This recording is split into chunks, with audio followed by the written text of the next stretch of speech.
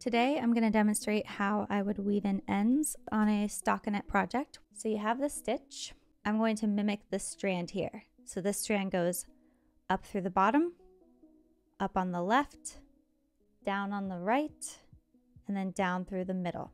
Up through the middle, up on the left, like this, pull through, down on the right, and down through the middle. Do you see how we kind of have that octopus shape?